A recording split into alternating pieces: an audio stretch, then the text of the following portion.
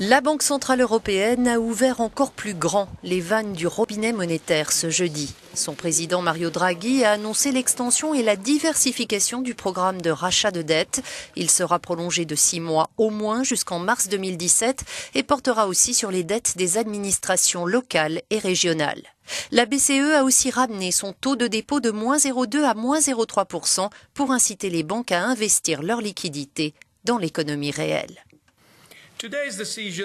Les décisions prises aujourd'hui vont renforcer le dynamisme de la reprise économique en zone euro.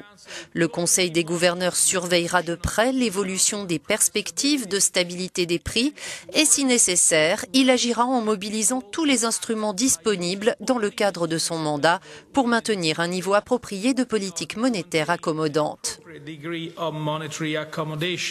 pas assez accommodante du goût des marchés qui espéraient une augmentation des volumes mensuels de rachat d'actifs, actuellement de 60 milliards d'euros. Résultat, l'euro s'est envolé contre dollar et toutes les places de la zone euro ont vu rouge. Le CAC 40 comme le DAX ont clôturé en baisse de 3,58%.